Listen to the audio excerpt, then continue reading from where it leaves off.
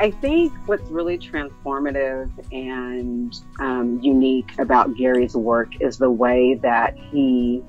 um, uses his own passion and skill set as a marathon runner, as a coach and a trainer to teach and really raise awareness about SAFE's mission, which is to stop abuse for everyone. And so